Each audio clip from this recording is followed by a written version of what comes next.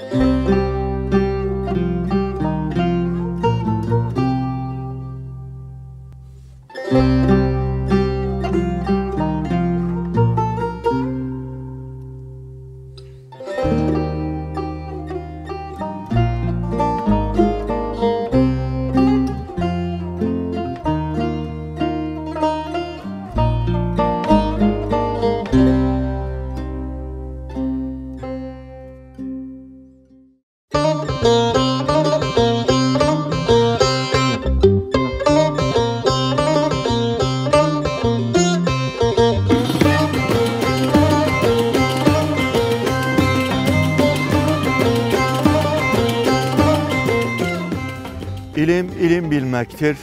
ilim kendin bilmektir.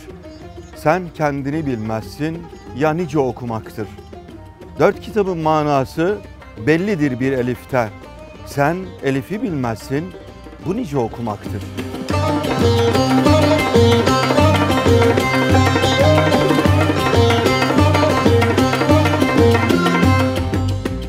Merhaba efendim. Hoş geldiniz, sefalar getirdiniz. Adı gibi kahvenin bahane, muhabbetin şahane olduğu bir programda yeni bir konukla yine huzurlarınızdayız. Bugünkü konuğum eski devlet bakanlarından milletvekilliği yapmış Profesör Doktor Mustafa Sait Yazıcıoğlu hocam. Hocam hoş geldin. Hoş bulduk. Nasılsınız, iyi misiniz? Teşekkür ederim. Sağ olun. Sizler de iyisiniz inşallah. Allah iyilikler versin. Yoğun Amin. çalışmalar içerisinde böyle bir programa eşlik ettiğiniz için teşekkür ediyorum. Estağfurullah. Ben de böyle tanıdık bir simayla bir programa çıkmaktan mutlu olduğumu ifade etmek istiyorum. Estağfurullah. Çok teşekkür ederim. Ee, özellikle konuklarımızın çocukluğundan başlayarak e, programımıza giriş yaptığımız için sizin de çocukluğunuzu merak ediyoruz. Ee, Trabzon Sürmene'de dünyaya giriyorsunuz ve doğmuş olduğunuz e, işte mahallenin, sokağın, e, semtin hareketliliği neydi? Evdeki durumlar nasıldı? Baba ve anneyle ilişkiler nasıldı? Bunları açıkçası merak ediyoruz. Buyurun hocam. Ee, tabii Karadeniz bilenler orada işte köylerde özellikle e, sokak e, vesaire böyle toplu bir yerleşim e, olmadığını bilir. Evlerin birbirleriyle mesafeleri bir hali fazladır. Öyle bir yerde doğdum ben de. Ee, çocukluğumla ilgili çok fazla anım yok. Çünkü 5-6 yaşlarında biraz sonra belki bahsedeceğiz. Babamın memuriyeti dolayısıyla oradan ayrıldık. Orada bulunduğum süre içinde e, babam hep dışarıda olurdu. O dönemin e, şartlarında bir medrese eğitimi vardır. Köklü bir medrese eğitimi vardı Karadeniz bölgesinde. Doğu ve Güneydoğu'da da vardır. Bugün hala devam eder ama Karadeniz bölgesinde yoktur bildiğim kadarıyla. O e, eğitiminde olduğu için annem olurdu evde. O da sürekli tarla işleri, e, işte e, bir hayvanımız vardı. Onun işleri vesaire. Biz e, ufak çocuklar olarak o tepelerde, dağlarda bir çocukluk yaşadık.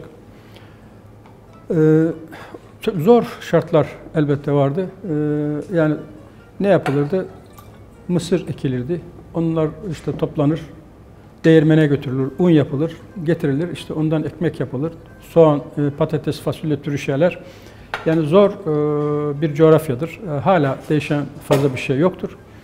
Dolayısıyla çocukluğumuz böyle bir e, ortamda e, geçti. Herhangi bir e, oyun, oyuncak türü şeylere de çok fazla sahip değildik. O e, tepelerde e, ne yapılabilirse e, o şekilde. Kaçlı e, yıllarda hocam? e, Benim 50'li yıllar, yani 50-55 arası Yani belki. Türkiye'nin 1950'li yılları Evet, Trabzon Sürmene tarafından bahsediyoruz. evet aynen. İşte 5-6 yıl e, orada kaldıktan sonra babamın e, memuriyete başlaması, müftülük e, görevine başlaması dolayısıyla Aydın. ayrıldık. Aydın Milas tarafına geçiyorsunuz. Önce Milas, evet, Sök, e, Muğla'nın e, bir ilçesi. Hı. Orada babam 10 yıla yakın bir e, görev yaptı. E, biz de ilk ve ortaokulu ben orada okudum. Şirin bir kasabadır ama e, rahmetli babam anlatır oraya gittiği zaman uzun bir yolculuktan sonra işte Türkiye'nin bir ucundan öbür ucuna e, işte müftü müftü nedir sormuşlar. Ne yapar, nedir? Müftünün ne yaptığından da haberdar olmayan o dönemin şartlarında bir yer. İşte o şartlarda e, orayı oluşturuyor, yapıyor. Çok e, verimli bir hizmet dönemi geçiriyor orada. Orada biz de işte ilk ve ortaokulu ben ve abim de e, orada okumuş olduk. Hocam ilk ve orta öğretimi siz Milas'ta okudunuz. Evet. Rahmetli Recep Yazıcıoğlu'yla beraber büyüdünüz. Ee, Karakter olarak iki kardeşin karakterini tahlil etmiş olsanız ne çıkar ortaya? İşte çok sonra e, kamuda, bürokraside belli görevler, üst düzey görevler üstlendikten sonra ortaya çıkan iki farklı karakterin çocuklukta da olduğunu söyleyebilirim. Yani ben biraz daha e, sakin mizaçlıyım. O biraz daha e, hırçın ve e, nasıl diyeyim sürekli bir şeylerin peşinde koşan. İşte e, o şartlarda ufak bir oyuk açarak orada bir dükkan gibi bir şey oyun olarak oluşturup işte bir şeyler alışverişler yapar e, şekilde girişimci e, bir ruha sahip olduğunu o zamandan da bilirim. Ağaçlara çıkılırdı mesela o dönemde başka yapacak fazla bir şey yok. Oraya e, çıkmadaki becerisi ve benim ona karşı o kadar becerikli olmama hep bunlar iki farklı yapının çocukluktaki iz düşümleri olarak hafızamdadır. Benim tabii Türkiye'nin bildiği, benim de hafızamda var olan bir Recep Yazıcıoğlu var. E, sizin ağabeyiniz. Evet.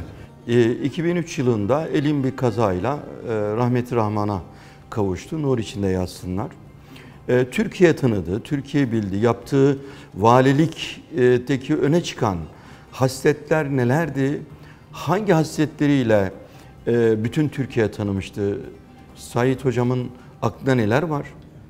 Şimdi aşağı yukarı 20 yıla yakın e, bir süreden beri vefat etmiş birisinin özellikle gençler tarafından tanınması çok e, mümkün değil. Ama inanılmaz bir ilgi var.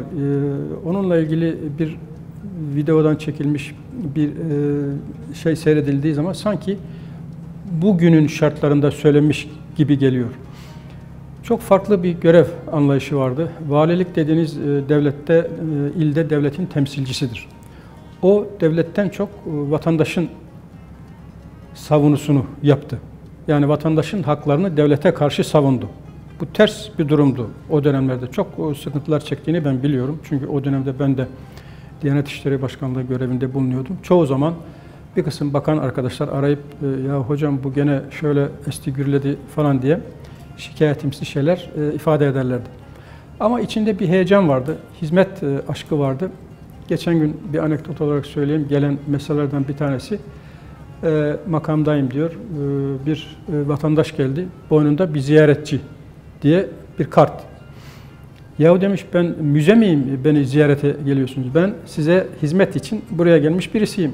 Nedir bu kartlar falan bunlara başka bir şekil verelim diye. Yani basit bir anekdot. Onun gibi daha pek çok onlar. Yani hizmet edenin efendi olduğunu peygamberimizin hadisinin e, yaşayan biri olarak herhalde karşımıza çıkıyor. Aynen. Bunu anlayabilir miyiz? Şu, elbette.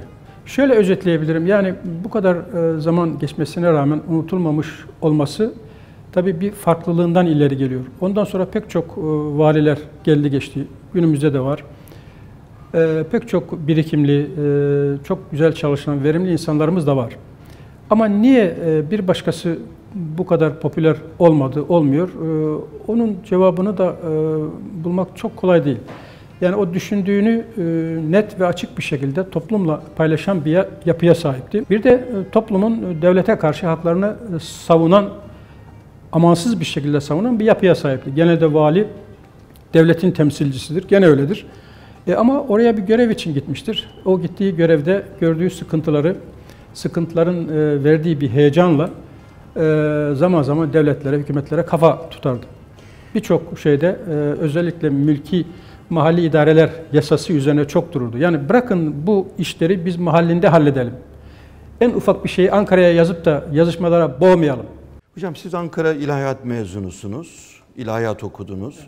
Sizin döneminizdeki ilahiyatların genel durumu nasıldı?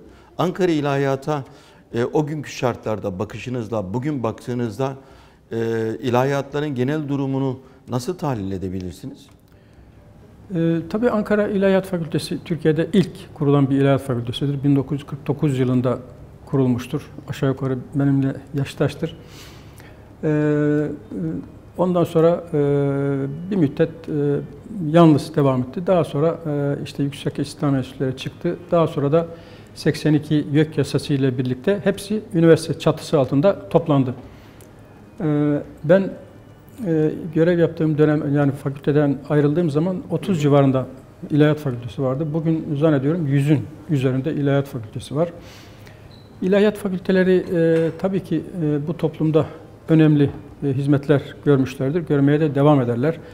Diyanet İşleri Başkanlığı'na eleman yetiştirmeden tutun da milli eğitime her alanda e, yani ülkede her kesimde mutlaka e, ilahiyat mezunu bir e, yüksek düzeyde bürokrat e, mutlaka bulunur. Önemli olan e, bu eğitimin e, akademik bir düzeyde e, olabildiğince serbest ve e, ifade özgürlüğünün olduğu bir ortamda yapılmasıdır. E, yani çokluktan çok oradaki yapılan işin e, mahiyeti e, önemlidir. E, çok önemli çalışmaların yapıldığını e, görüyorum, mutlu oluyorum. Ben şimdi ilahiyat e, dışında bir e, kurumda olduğum için uzaktan e, seyrediyorum. Uzaktan seyredilmesi de insana e, çok e, önemli kazanımlar e, kazandırıyor. Tabii ki alınacak mesafe hala vardır. Biraz sonra belki bazı konuları biraz daha açma fırsatımız olur. İnşallah. Hocam şimdi e, özellikle ilahiyatı bitirdikten sonra sizin lisans tezi olarak e, Nesefi ve e, Tabsiratül Edille üzerine e, e, lisans tezini tamamlıyorsunuz. Biraz açabilir miyiz bu lisans tezinde e, nelerle karşılaştınız? Topluma neler söyleyebilirsiniz? E, bu Nesefi e, dediğimiz zat Maturidi e, düşüncesinin, evet. Maturidi kelam sistematiğinin İmam önemli, Nesefi diye de ifade evet, edilir. Önemli figürlerinden birisidir. Maturidi'den sonra gelen. Ee, iyi ki o zaman e, öyle bir başlangıç yapmışız. Çünkü Maturidi e, bizde hem Türkiye'de hem de İslam dünyasında çok fazla tanınmayan bir figürdür. Çok önemli bir figürdür ama çok fazla tanınmamıştır. O başlangıçtan sonra günümüzde e, çok daha düzgün e, çalışmalar, araştırmalar yapılıyor. Çok farklı bir bakış açısıdır Maturidi düşüncesi. Çünkü onun e, ortaya çıktığı alan bugün işte Semerkant, Buhara dediğimiz Orta Asya, bugünkü işte Afganistan sınırlarında da çok yoğun bir birikimin olduğunu biliyoruz. Farklı bir anlayışın oradan doğduğunu biliyoruz. Ama tabii e, Osmanlı'ya, Anadolu'ya uzak bir coğrafya e, çok fazla etkisi olmamış. Medreselerde mesela hiçbir zaman bizim Osmanlı medreselerinde maturidi bir eser okunmamıştır kelam alanında. Hep eşari ağırlıklı eserler okunmuştur. Onun sebepleri ayrıdır. Bu bahsin dışındadır. Uzun e, konuşmak, tartışmak gerekir. Dolayısıyla oradan başlamanın bana verdiği çok şeyler olmuştur.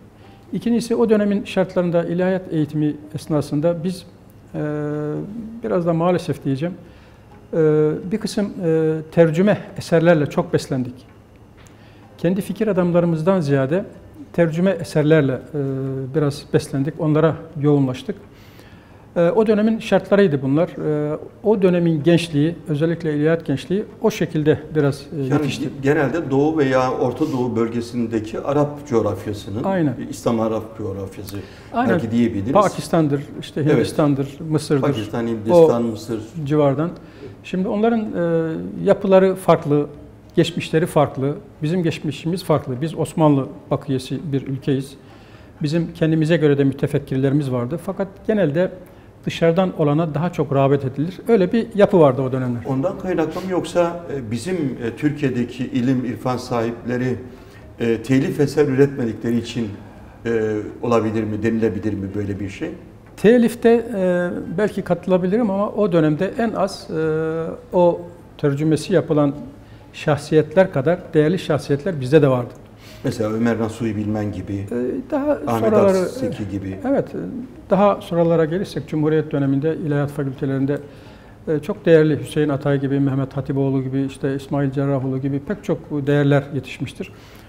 Onlar yani insan e, böyle kendinden olanlardan ziyade dışarıda olanlara biraz daha böyle bir ilgi gösterir. E, sanki onun da verdiği bir şey. Mesela özellikle batıdan bile İslamiyat üzerine yazılan bir kısım daha sonra Müslüman olmuş düşünürlerin yazdıkları bizim yerli mütefekkirlerimizden çok daha fazla ilgi görmüştür. Evet. O dönemin şartları. Yani tercümelerin öyle, öyle bir ilgi evet. E, getirdiği Türkiye'de vaka. Yani evet. biz de e, onu yaşadık. Hı hı, aynen. E, Mevdudi'yi, Seyit Kutub'u, Muhammed Kutup gibi birçok insanı biz o dönemlerde okuduk. Hüseyin Nasır gibi. Yani bu bir zararlı bir şey olarak bunu ifade etmiyorum ama ee, yani onların içinde doğup yaşadıkları ortamla bizimki farklıydı. Onların çözümlemeleriyle bizimki biraz daha farklılık gösterirdi. Evet. Göstermesi de gerekirdi daha doğrusu. Onu ifade etmek için söylüyorum. Peki bu o, yüksek lisans yani lisans tezinden sonra e, Milli Eğitim Bakanlığı'nın tensipleriyle siz Fransa'ya gidiyorsunuz. Fransa'da araştırmalarda bulunuyorsunuz, okuyorsunuz. E, Fransa'yı e, o günün şartlarında nasıl gördünüz? Yani araştırma değil de doktora yapmak üzere Doktora yapmak gönderildik. O zamanlar her alandan, her disiplinden, her akademik disiplinden yurt dışına doktoraya gönderilirdi. Dolayısıyla ilahiyat fakültelerinden de gönderilirdi. Ee, şimdi çok fazla bir mantığı yoktur bu işin. Ee, böyle kabaca bakıldığında işte ilahiyat alanında Fransa'da doktora yapmanın anlamı ne? Ben mesela oradan e, bu akademik anlamda e, yaptığım tez dolayısıyla çok e, yararlanamadım. Çünkü bütün kaynaklar bizde.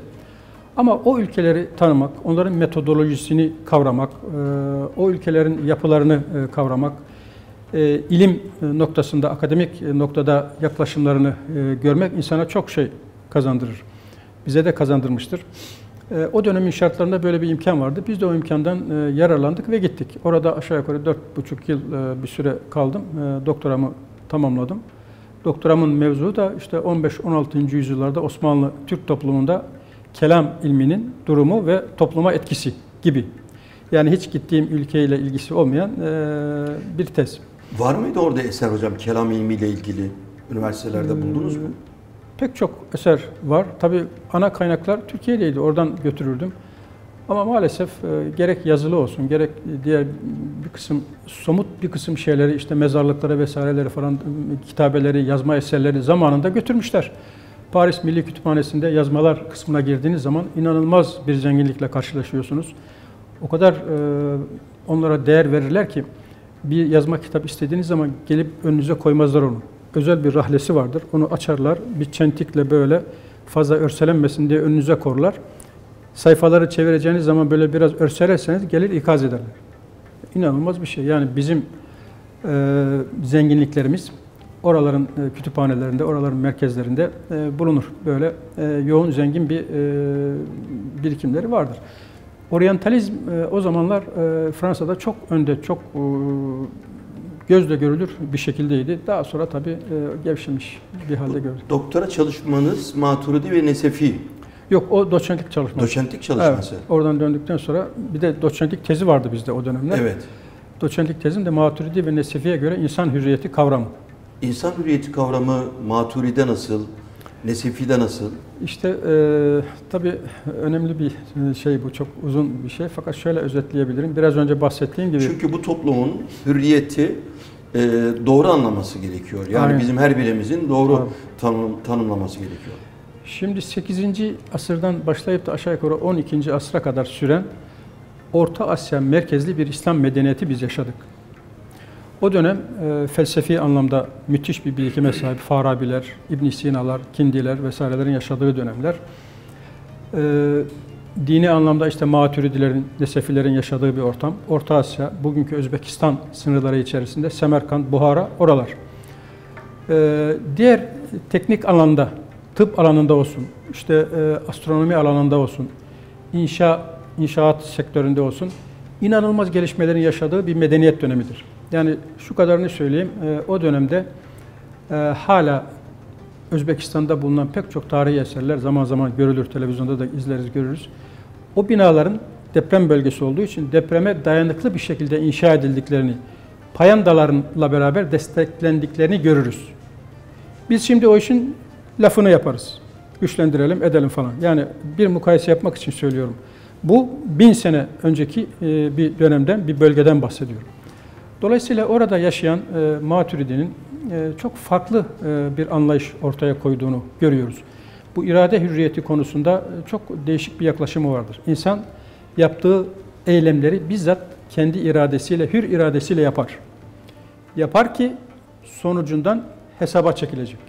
Evet. Yani bir başka varlık ona yaptırırsa, bir determinizm söz konusu olursa, yani mecburen o işleri yaparsa, o yaptığı işlerin hesabı verilmez bizzat kendi hür iradesiyle yapmalı ki hesabını versin. Böyle bir e, anlayış sergilemiş, ortaya koymuştur. Bu da o dönemde orada bulunan çok müthiş bir işte Farabilerin, İbn Sina'ların ortaya koyduğu felsefi geleneğin üzerinde oturtulan e, bir e, dini anlayıştır, bir dini yorumdur. Yani İmam-ı Maturidi'nin açmış olduğu çizgi aslında e, Farabi'nin işte Temelini attığı, felsefecilerin İbn Miskevey falan var. tabii. O dönemler. Aynen bizim Anadolu'yu çok etkileyen tasavvufi tarikatların da olduğu yerdir orası. Evet. Oradan Anadolu'ya geçmiştir. O genel anlamda söylediğim bir medeniyetin ortaya koyduğu bir fikir ve ifade hürriyeti o dönemlerde orada yaşanmıştır. Ama daha sonra işte e, Moğollar istilası vesairesi falan pek çok sahiplerle e, bir e, karmaşa dönemine girilince içe kapanılmıştır, içe dönülmüştür. O yoğun e, fikri e, mücadeleler orada kalmıştır ve o içe dönüklük maalesef böyle böyle adım adım e, günümüze kadar bile gelir, getirebiliriz. Bu Özbekistan, Buhara bölgesindeki ülemanın yani alimlerin e, aslında İstanbul'u da, Türkiye'yi de bütün e, dünya Müslümanlarını etkilediğini aslında bilebiliyoruz. Aynen. E, bu konuda e, bu Buhari gibi, Tirmizi gibi hadis kitaplarının da orada e, oluşturulduğunu e, en azından söyleyebiliriz. Tabii e, yani ben işin biraz daha bu fikri cephesi üzerine yoğunlaştığım için o da ayrı bir alan tabii. İşte Buhari, Buhara'da, Semerkant, Buhara'da, o da Semerkant, Semerkant'tadır. tabii. E, o Buhara'dan doğmuştur. Maturidi Semerkant, bugünkü Semerkant, Semerkant, evet. dediğimiz e, oraya yakın Maturid diye anılan bir kasaba. Evet. E, Maturidi deyince oraya mensup, orada doğmuş kişi e, anlaşılır. Yani o alanlarda da tasavvufi alanda da işte Nakşibendilik e, doğduğu, e, neşvünema bulduğu yer ve oradan Anadolu'ya gelen şeyler. Yani biz o bölgeye e, hem bu fikri anlamda hem de manevi anlamda bağlılığımız çok olan bir bölgedir. Ama arada bir kopukluk olmuştur tabii ondan sonra. Özellikle Sovyet döneminde ilişkiler tamamen e, kopmuştur. E, Şimdi işte Özbekistan mesela bağımsız bir Türk Cumhuriyeti olarak diğerleri gibi Türkiye ile yakın ilişkileri olan o konuda Maturidi konusunda oralarda da çok büyük gayretlerin olduğu bir bölge. Hocam kahve içtik mi? Evet kahvemizi de içelim bu arada. Hocam Buhara'dan e, bir Abdullah Hoca Efendi, Buharalı Abdullah Hoca Efendi Tarsus'a geliyor. Mersin, Tarsus, Tarsus'a geliyor. Rahmetli babam e, Buharalı Abdullah Hoca Efendi okuyor. Yine biz Buhara'dan gelmiş olan insan Emir Sultan Hazretleri'nin Bursa'daki kimi büyük zatların da hep Buhara merkezi, Semerkant merkezi olduğunu biliyoruz. Dolayısıyla o bölgedeki e, alimlerin e, payitahtı Osmanlı'yı da boş bırakmadıklarını söyleyebilir miyiz? Doğru. Bu Özbekistan'ın e, daha sonra 90'lı yıllardan sonra bağımsızlığına kavuşan e, işte 6-7 e, Türk Cumhuriyeti'nden bir farklı özelliği var. E, Yani Sovyet döneminde bile, o zor dönemde bile bu manevi ilimlerin e, yer altında bile olsa canlı tutulmaya çalışıldığı bir bölgedir, bir zemindir. Dolayısıyla bağımsızlıktan sonra e, diğer alanlarda olduğu gibi bu dini e, alanlarda da çok gelişmeler yaşanmıştır. Ben e, o dönemlerde Diyanet İşleri Başkanı olduğum için çok yakından biliyorum. Oradaki dini idarelerin kurulması noktasında onlara çok büyük destek vermiştik. Dolayısıyla Özbekistan'ın bu farklılığı o bahsettiğiniz biraz önce söylediğiniz şeyde de görülür. Yani orada o zor şartlarda bir şekilde İslami ilmlere vakıf olan bir kısım insanlar işte bir şekilde Anadolu'ya geliyorlar ve burada da o öğrendiklerini e, öğretmeye başlıyorlar. Yani bu enteresan bir şeydir. Başka bir e, Türk Cumhuriyeti'nde e, böyle bir yapı göremiyoruz. Özbekistan'ın çok farklılığı var. Bugün bile dini ilimlerin en canlı olduğu, hassasiyetlerin en yoğun olduğu bir ülkedir Özbekistan. Daha önceki asırlardaki o çok geniş, engin bir fikir ve ifade özgürlüğü ortamına bağlamak gerekir. Yani Sovyet Rusya ile ilişkileri olmuş olsa bile buna rağmen O köklü yapı yani gizli de olsa, Aynen. açıktan da olsa medrese Aynen. devam etmiş. Yani üniversite devam etmiş. Aynen şimdi şöyle şunu görünce eskiden mangal vardı ısınmak için. Ee, Böyle e, içten içe yanardı. Bir şeyle maşa ile üstündeki kül alınınca e, bir şey verirdi. Aynı o emsal ne kadar siz örterseniz örtün, yasaklarsanız yasaklayın. İçte olan şeyi e, yok edemiyorsunuz. İşte bir ufak e, bir hürriyet e, bağımsızlık sonucu tekrar ortaya çıkmıştır. Necip Fazıl'ın bir ifadesi var. Hani Anadolu insanının imanı üzeri küllenmiş kor ateşe benzer. Hohladığınız zaman kül üzerinden gidince ortaya iman çıkar diye ifadeleri. Aynı, işte aynı durum yaşanmıştır. Ya hocam şöyle bir ifadeniz var. En son ve en mükemmel dini e, din olan İslam'a sahibiz. Evet. Yani İslam dininin mensuplarıyız. Rehberi kitap olarak elimizde du- duruyor. E, biz bugünkü e, Türkiye ve İslam coğrafyasına baktığımızda e, son dinin mensubu olarak e, İslam'ın son din olduğuna iman eden birileri olarak e, bugünkü ümmetin içindeki karmaşaya e, çözüm yolları e, önerebilir mi Sait Hocam? İşte Tabii bu, Diyanet İşleri Başkanlığı falan yaptığınız için Şimdi biraz bu- soruları böyle Değerli dostum e, Recep kardeşim bu can alıcı soru budur. Yani ben özellikle bu son yıllarda buna çok yoğunlaştım. Evet. Aynen ifade ettiğiniz gibi e, Cenab-ı Hak pek çok din işte Yahudilik, Musevilik e, kitabı olan dinler göndermiştir. Fakat onları onlar tahrif etmişler, değiştirmişler vesaire. En son Kur'an-ı Kerim nazil olmuştur. E, ve ondan sonra bir daha ilahi bir kitap ve bir peygamber gelmeyecektir. gelmeyecek. Bizim inancımız Amin ve Kur'an'ın evet bildirdiği bu. Şimdi tahrif edilmiş şeyleri bir tarafa bırakalım. En son ve mükemmel bir e, inanç inanca sahibiz. Elimizde onun rehberi olan Kur'an-ı Kerim de var. O zaman dönüp de bu tahrif edilmiş dine mensup e, dünyaya bir baktığımız zaman, Batı dünyasına, bir de İslam dünyasına baktığımız zaman aradaki o e, uçurumun bir izahının yapılması lazım. En basit e, şunu ifade edebilirim. Aşağı yukarı 10 seneyi aşkın bir zamandır Suriye'deki dramı yaşıyoruz. Evet. Burnumuzun dibinde olduğu için Evet. daha çok yaşıyoruz. Ne oluyor orada? Müslümanlar birbirine girdi. Hala da girmeye devam ediyor. İç savaşlar vesaireler falan. İşte e, mülteciler her tarafa yayılmış. Çocuklar, çekilen dramlar. Kaç Ramazan, kaç bayram geçti, kaç yıllar geçti. Bu dram devam ediyor. Bugün e, dünyada aşağı yukarı 60'a yakın İslam ülkesi var. Onların oluşturduğu İslam İşbirliği Teşkilatı var. Birleşmiş Milletler'den sonra sayı bakımından dünyada en zengin bir uluslararası siyasi kuruluş. Peki bunlar oturup da ya ne oluyor bu kendi içimizde böyle bir sorun var. Nedir kimin ne alıp vere- veremeyeceği var. Oturup da bu konuda ciddi bir çözüm yaklaşımına şahit olduk mu? Olmadı. Olamadık. Bu dram devam ediyor. Ağırlaştıkça devam ediyor. Yansımaları bizi de etkiliyor. Malum bugün Türkiye'de siyaset anlamında en çok tartışılan konuların başında gelir. E peki bu sorunları biz niye çözemiyoruz? Hem en son ve mükemmel bir inanca sahibiz. Onlardan oluşan bir ümmet var. Aşağı yukarı 60 İslam ülkesi var. Bunun Afrika'sı var, e, Orta Asya'sı var, işte e, Orta Doğu'su var, Uzak Doğu'su var, her tarafı var. Malezya'dan, Endonezya'dan başlayın ta gelir e, Avrupa'ya kadar dayanır. Bu geniş coğrafyada en son ve mükemmel bir inanca sahip bir ümmet nasıl bu halde olur? İşte bunun e, tahlilini iyi yapmak lazım. E, ben bir hayli kafa yoruyorum bu işe. Öyle basit işte efendim biz Kur'an'ı anlayamıyoruz şeklinde e, yarım yamalak ifadelerle bu anlatılmaz. Kur'an Yani öyle geçiştiremeyiz. geçiştirilmez. Kur'an anlaşılmak üzere gelmiştir. Kesinlikle. Rehber anlaşılır. Yani bir elektronik alet aldığınız zaman onun bir kullanım rehberi vardır. O anlaşılmaz bir dille yazılmaz. Anlaşılır bir şekilde yazılır ki onu doğru kullanasınız. E, dolayısıyla kainatın rehberi de e, Kur'an-ı Kerim olduğuna göre biz onu okuyabilecek kabiliyetteyiz. Niye okuyamıyoruz? Tabii e, birçok sebepler var şimdi. e, O çok ayrı bir bahis. Ama biz bir eksen kaymasına uğradık. Bunu ifade etmek lazım. Emevi e, ile beraber dinin e, temel omurgalarını oluşturan kader ve takdir ilahi gibi kavramların içi boşaltılmıştır.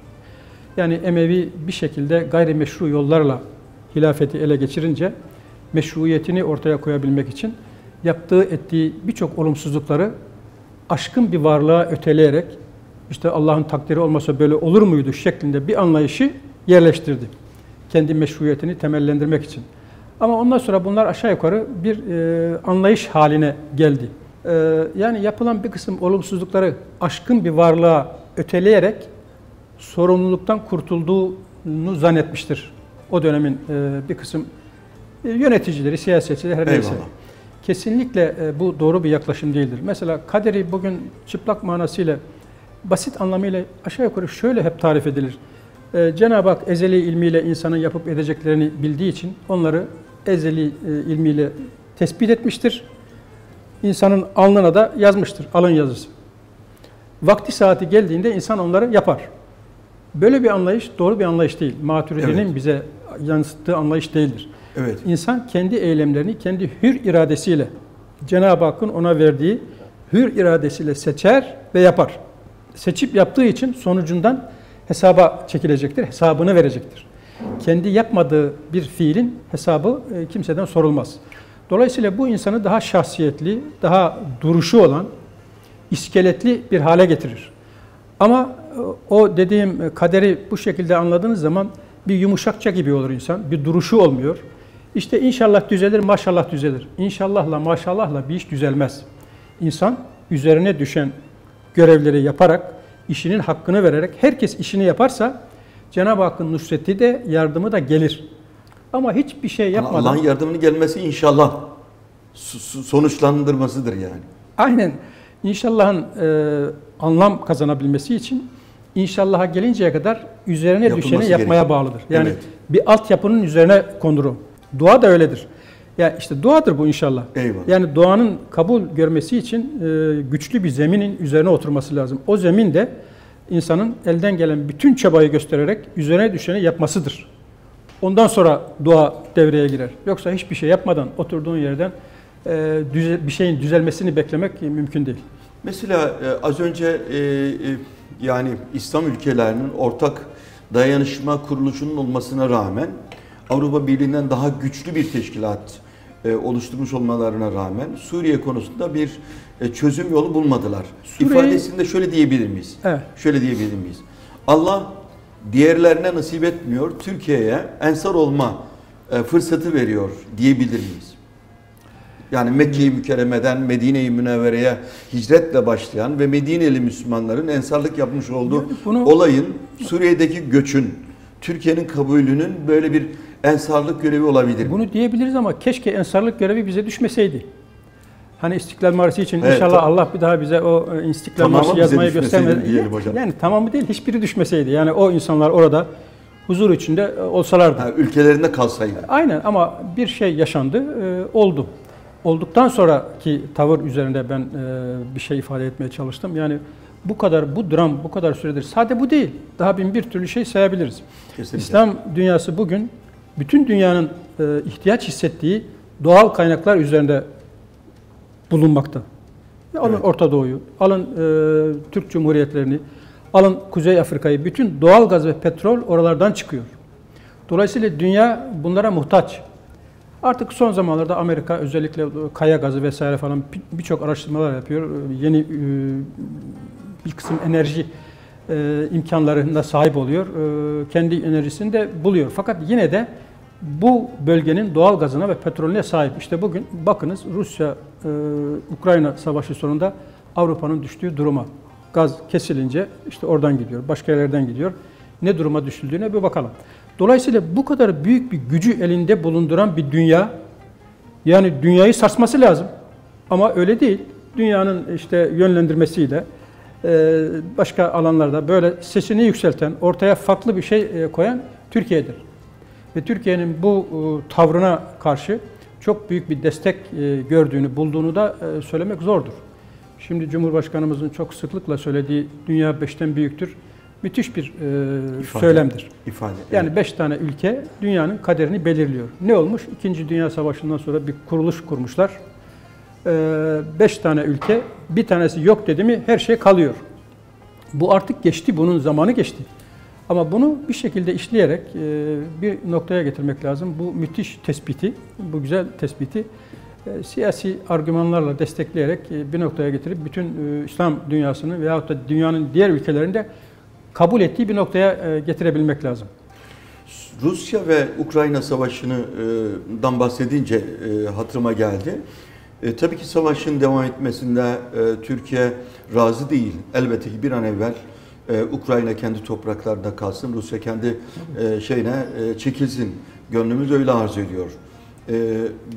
Bu savaşın getirmiş olduğu doğal gazla ilgili gaz kısıtlamasının sonucunda Avrupa ülkeleri, belki az önce e, Sayın Cumhurbaşkanı'nın dünya beşten büyük ifadesinde o dört tane dünya ülkesinin şu anda bu kışı 19 dereceden daha yüksek yakanlar, klimayı açanların cezalandıracağı, çok ciddi cezalar geleceğini, burada Türkiye'deki otellerin de rezervasyonlarının hemen hemen dolu olduğunu ifade ediyorlar hocam.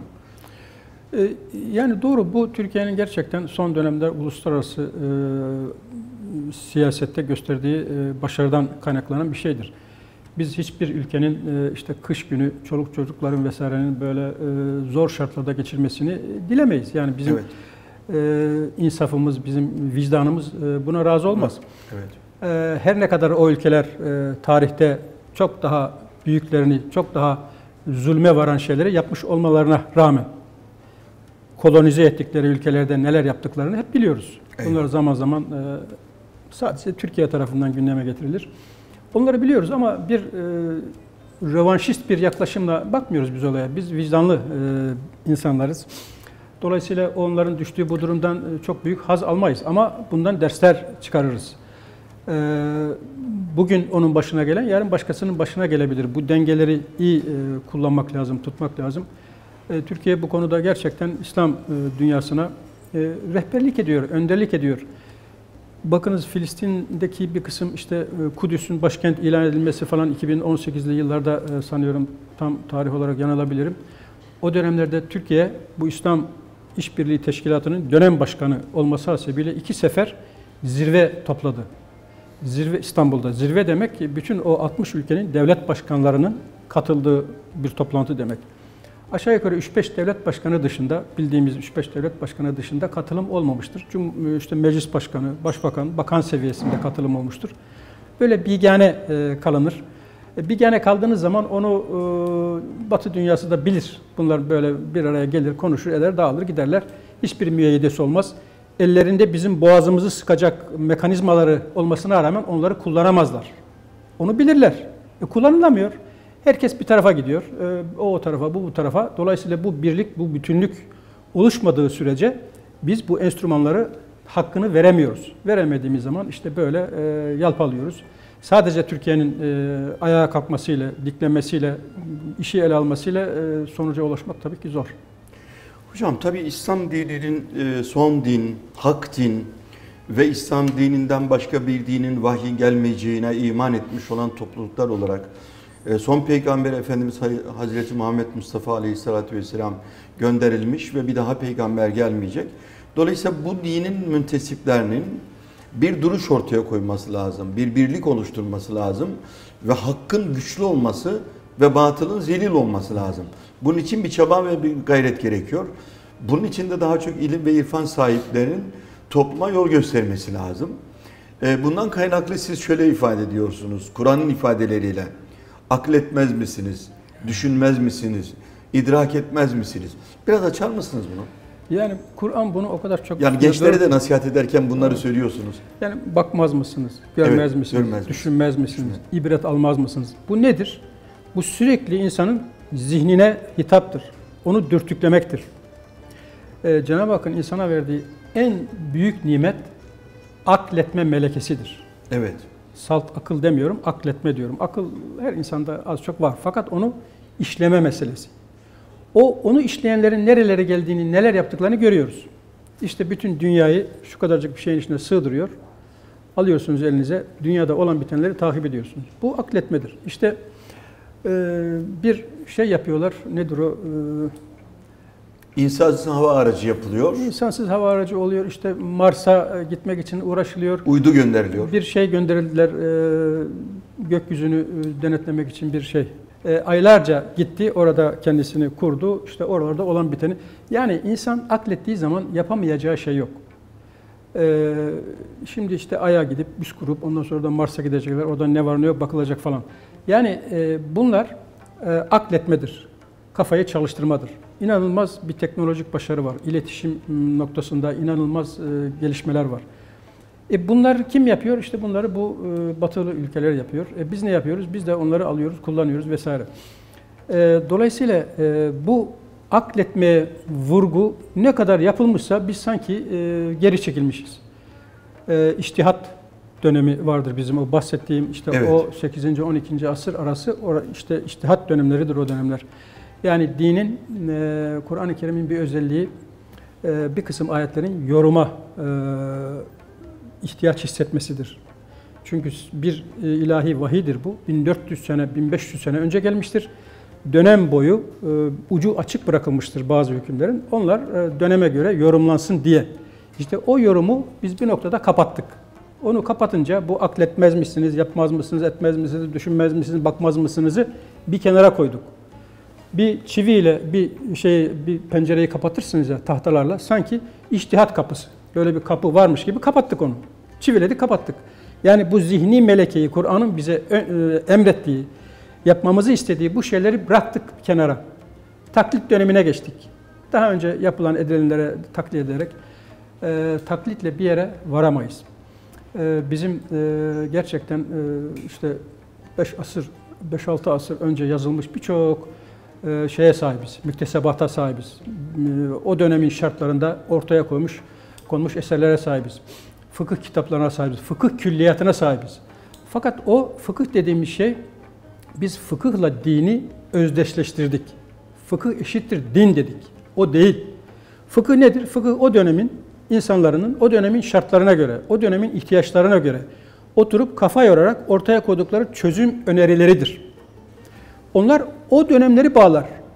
Bizim işimizi görüyorsa bizi de bağlar. Çözüm yoluna nasıl girmişler o konuda bize ışık tutar. Ama biz oturup kendi... Bizim problemimiz çözmüyorsa Aynen. yeniden yorum gereklidir. Aynen. İşte onu yapamadık. Bu işte Kur'an'ın bahsettiği bakmaz mısınız, görev eklet bunları bıraktık.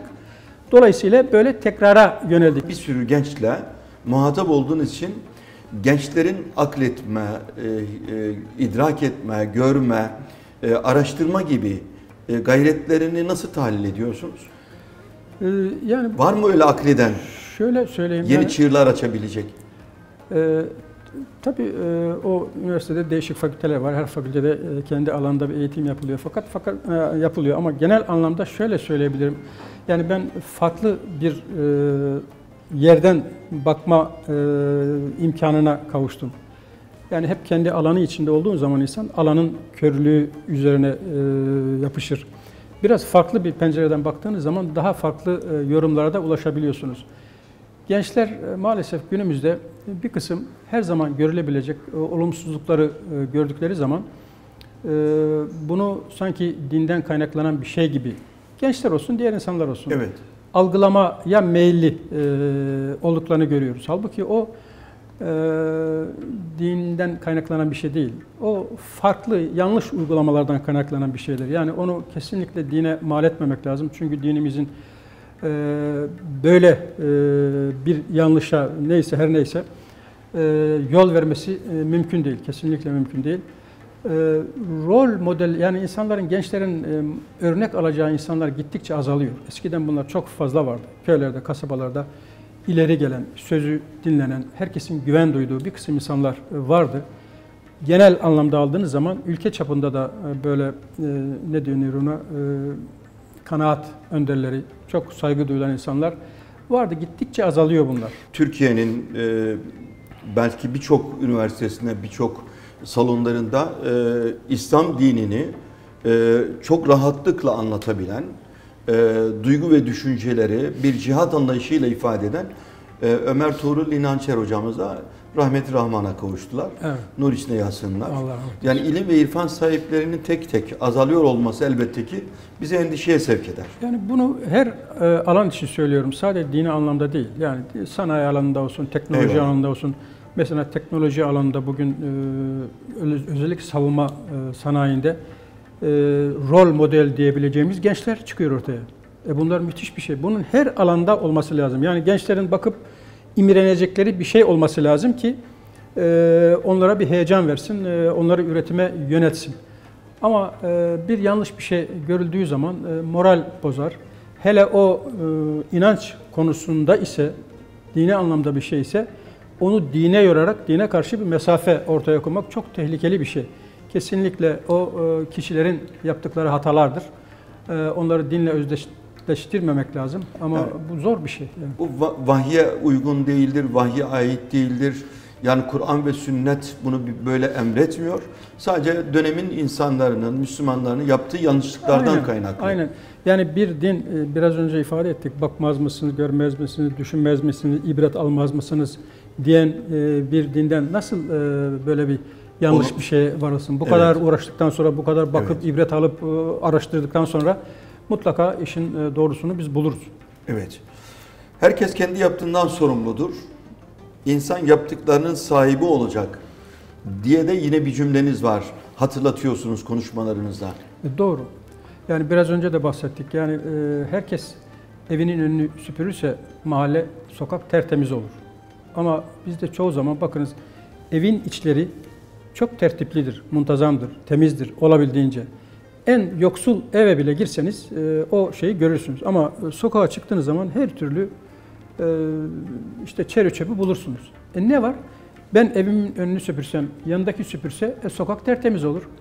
Ama işte o yapsın, bu yapsın, devlet yapsın, belediye yapsın işin ölçeğine göre gibi bir anlayış var bizde. Halbuki e, yani üzerimize düşeni e, yapmamız lazım. İnsan yaptığı işin hakkını vermesi lazım. Yaptığı işi kendi işi gibi görmesi lazım. İnsan e, ne iş yapıyorsa yapsın, yaptığı işi kendi işi gibi görmezse ondan sonuç alınmaz. Dolayısıyla e, biraz önce belki tekrar olacak. Yani yaptığımız işin hakkını vermemiz lazım. İşin büyüğü küçüğü olmaz. Evet. Her iş büyüktür, her iş önemlidir. Çünkü büyük işler küçük dediğimiz işlerin üzerine üzerine inşa edilerek yapılır. Zemin sağlam olmazsa inşa ettiğiniz şey yarın bir gün paldır küldür geçer gider. E, Dolayısıyla her işin hakkını vermek gerekir. İşin hakkını verdiğiniz zaman onun maddi karşılığının yanında manevi ecri de vardır. Manevi ecir sade ibadetlerden elde edilmez. İbadetler Cenab-ı Hakk'ın insana verdiği sonsuz nimetlere karşı insanın Rabbine, yaradınanına duyduğu şükran borcunun bir ifade ediliş tarzıdır. E, hesabı Allah'la kul arasındadır. Başkasını ilgilendirmez. Bir, birinin ibadeti başkasını ilgilendirmez. Ama yaptığı iş herkesi ilgilendirir. İşin Ha. ölçeğine göre. Yani küçük, e, onun için büyük küçük iş olmaz dedim ama küçük işin muhatabı mesela bir ayakkabı tamircisi. Alır ayakkabının pençesini vesairesini. Karşıdaki adamla muhataptır. Onu düzgün yaptığı ölçüde aldığı onun helaldir. Fakat diyelim ki yönetim kademesinde bulunan birisi o yaptığı işin hakkını veremezse ondan olumsuz etkilenen binlerin, on binlerin hakkı doğar onun üzerinde. Yani yaptığımız işi en güzel yapacağız, en sağlam yapacağız, en uygun yapacağız, en akla uygun olarak yapacağız. Toplumu rahatsız edecek herhangi bir eylemde bulunmayacağız. Bizim yapmış olduğumuz bir e, eylemin, bir sözün, bir cümlenin topluma nasıl zarar vereceğini düşüneceğiz. Aynen. Bunları söylüyorsunuz. Tabii. Onun için bu liyakat ehliyet kelimesi çok kullanılır ya. Hı hı. Niye kul- bu liyakat ehliyet kelimesi diyorum? Liyakat ehliyet e, Allah'ın bir emridir bize. Yani Evet. bir işi o işi en düzgün yapacak olana e, vermek edilmesi bizim lazım. evet bir dini geleneğimizdir, bir emirdir. Dolayısıyla onun için bu niye öyle? Ya en iyi bu işi en iyi becerecek olanı oraya koyacaksınız ki toplum insanlar ondan istifade etsin. E oraya o işi beceremeyen, ortalığı karıştıran birini koyduğunuz zaman insanlar huzursuz olur, zarar görürler. E insanların e, dinin hedefi gayesi nedir? Dünya ve ahiret mutluluğu. Dünyada huzurlu yaşayacaklar, ahiretlerinde kazanacaklar. Devletlerin görevine dünya açısından baktığınız zaman dini bakışla örtüşüyor. Ne yapar devletler? İnsanlar bu geçici dünya hayatında rahat ve huzur içinde yaşasınlar diye çalışırlar. Ne yaparlar? Altyapı yapar, ee, işte inşa hareketleri yapar, sağlık işine bakar, eğitim işine bakar, savunma işine bakar, e, yargı, Temizlik adalet yapar, işine bakar. işini yapar. Evet. Niye? E, insanlar rahat ve huzur içinde olsunlar diye. Dolayısıyla bir makamı işgal eden kişi onun hakkını vermek durumundadır. Hakkını veremiyorsa o gider, hakkını verebilecek olan gelir. Kimsenin babasından miras kalmamıştır o makamlar. O makamların tek bir e, özelliği vardır. Onun hakkını vermek liyakat ve ehliyet sahibi olarak yaptığı işin hakkını vermek. İşin hakkını verdiğiniz zaman dediğim gibi onun e, maddi karşılığının yanında manevi karşılığı da vardır. Biz işin bu yönleri üzerine pek durmayız. Bu dinin ahlaki yönüdür. Din güzel ahlaktır deriz ama o tarafları bırakırız. Daha başka e, şeylere biraz işin şekli boyutlarına çok fazla kafa takarız ve onları çok daha fazla tartışma e, konusu yaparız. Hocam işin ehline verilmesi konusunu gündeme aldınız. E, gerçekten ehline e, eğer işi tevdi etmezseniz o işten bereket ve sonuç çıkmıyor. Birden verilmiş olan emanetleri 85 e, milyonun dünya mazlumlarının, Müslümanların haklarının da olduğunu bilerek, düşünerek hareket etmesi gereken bir hak sahibi gerekiyor. Aynen. Yani orada o işin başında bulunan insanın öyle düşünmesi, idrak etmesi gerekiyor. Kul hakkı konusunda bugünkü cemiyetimizin genel durumuna baktığımız zaman e, e, nasıl kavruyoruz kul hakkını? İşte yani mesela onu... diyelim ki e, şu bahçede bir elma ağacı var, dut ağacı var, armut ağacı var. Ben geçerken bir armut, bir elma e, koparttım. Çok güzel. Yedim. Yani e, çok güzel. Yani biz bu kul hakkını böyle biraz somut şeylere e, bağlarız. E oradan kopardın tamam iyi. E, sonra aklına geldi ya ben izinsiz bunu aldım. Ertesi gün gidersiniz dersiniz ya ben iki tane elma aldım buradan. Hakkını helal. Bunun karşılığı nedir? Helallik de istemeyiz. Eyvallah. Karşılığını sorar. Eyvallah. O der ki şu kadar kuruştur. Öyle diyorsa kaldırır veririz. İşi Eyvallah. bitiririz. Ama büyük oranda denir ki ya olur mu öyle şey mi olur? Bunun lafı mı olur? Al iki tane daha. Helal olsun. Evet. İyi. Ee, burada helalleşme oldu. Yani kul hakkı e, kişiler arasında helalleşmeyle hallolacak bir şeydir. Çok önemli bir şeydir. Ama biraz önce söylediğime bağlamak istiyorum şimdi. Yani kamu görevi yapan e, birisi işini e, doğru düzgün yapamıyor, beceremiyor. İnsanlar ondan zarar görüyor. İşte ondan zarar gören her insanın hakkı doğar onun üzerinde. Sade onun üzerine değil, o atamayı, o işi yapanlar üzerinde dereceli bir şekilde herkese sorumluluk rücu eder, döner.